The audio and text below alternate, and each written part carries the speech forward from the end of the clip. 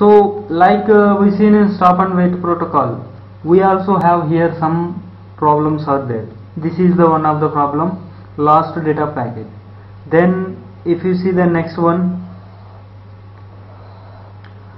here sender and receiver same like here suppose sender sended 1 2 3 to 7 packets.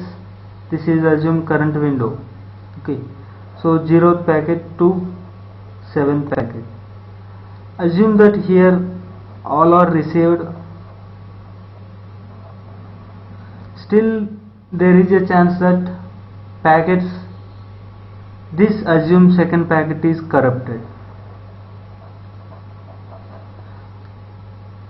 By using CRC calculations this receiver is going to find out that this packet is corrupted so it is going to give negative acknowledgement. Negative acknowledgement to the sender. Same like earlier in this case last data packet case it is going to be take that particular finding that particular sequence number packet and then it is sending entire window entire current window from second to 7 so now it is going to give ACK 0 acknowledgement for all these packets. So this is the case of packet corrupted. And then we have one more problem that uh, like I was seen uh, in stop and wait protocol there is a chance that acknowledgement may be lost so let us see. 0 to 7 packet is sent assume that acknowledgement is lost. So whenever this acknowledgement is lost uh, as we introduced in the stop and wait protocol timeout and round trip time. So after round trip time it is still waiting for the acknowledgement. Then whenever timeout is occurred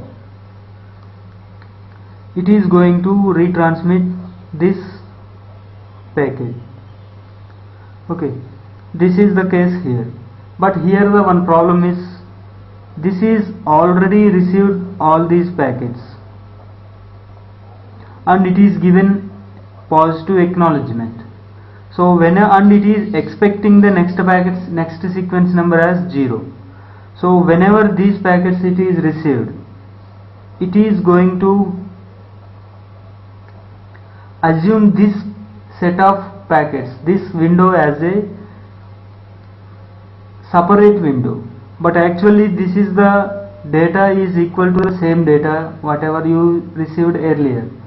So that's why this this is the problem we are facing in this uh, go back N with these with these principles. So still we have to be invent few more things into this go back N. So like this we have this is the acknowledgement lost case. So we have the problems like this. As we showed uh, solutions in the stop and wait protocol for the problems here also we are going to be show some of the problems. Let us see these solutions in the next video. Thank you for watching